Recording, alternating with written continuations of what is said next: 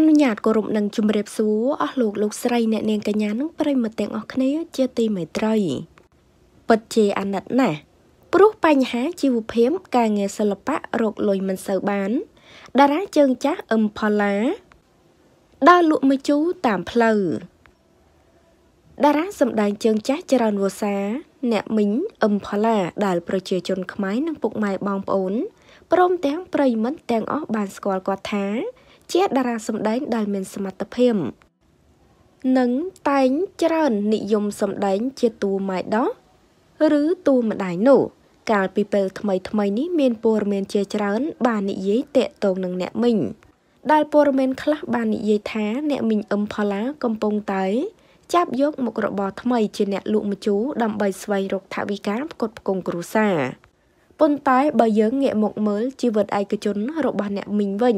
ថ្មីត្បិតតែអ្នកមីងមានឈ្មោះល្បីល្បាញនៅក្នុងសង្គមសិល្បៈក៏ពិតមែន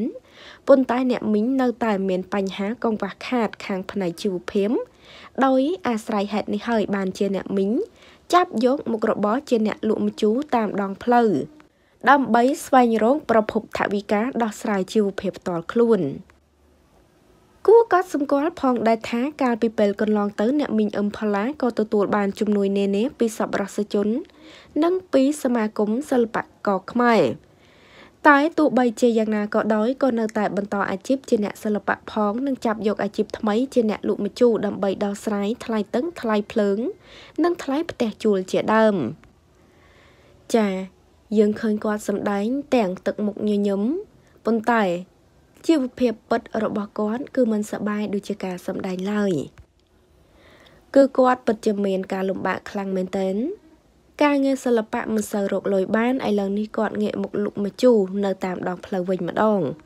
បើមិនធ្វើបែបនេះទេ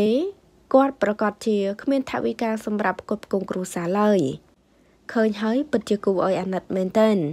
ទោះបីជាទទួលបានជំនួយខ្លះៗពីសប្បុរសជនក៏ដូចជាសមាគមសិល្បករខ្មែរក៏ពិតមែនប៉ុន្តែវាអាចជួយដោះស្រាយបានតែមួយផ្លែតតែប៉ុណ្ណោះមានតែការរកលុយដោយខ្លួនឯងនោះទេតើបអាចចិញ្ចឹមយើងអស់មួយជីវិតចាហើយតេតងនឹងព័ត៌មាននេះដែរក៏សូមបញ្ចប់តែត្រឹមនេះសូមចុច Subscribe និងរូបកណ្ដឹងដើម្បីទទួលបានព័ត៌មានថ្មីៗជាបន្តទៀតសូមអរគុណ សូមគោរពលា